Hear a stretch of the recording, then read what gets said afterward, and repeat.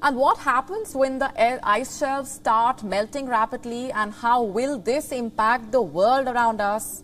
Our next report breaks it down for you. Ice shelves are permanent floating extensions of an ice sheet connected to a landmass. Most are along the coast of Antarctica, but they can also be found in Greenland, Canada and parts of Russia. They form when ice from enormous ice sheets approaches the sea as a glacier.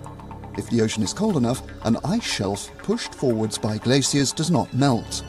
Over time it can grow, gaining ice mass. Sometimes it can shrink. Until recently, there was a rough balance between the amount ice shelves shed and accumulated. But now, the ice is melting, and melting fast, especially in the Antarctic. Scientists say warmer air and higher ocean temperatures are behind the change. Warm air melts the surface of the shelf, forming pools.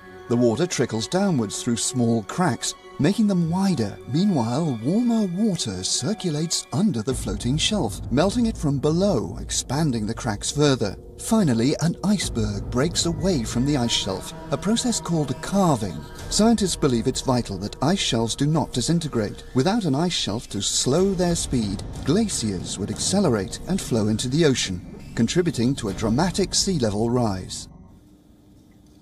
WION now available in your country. Download the app now. Get all the news on the move.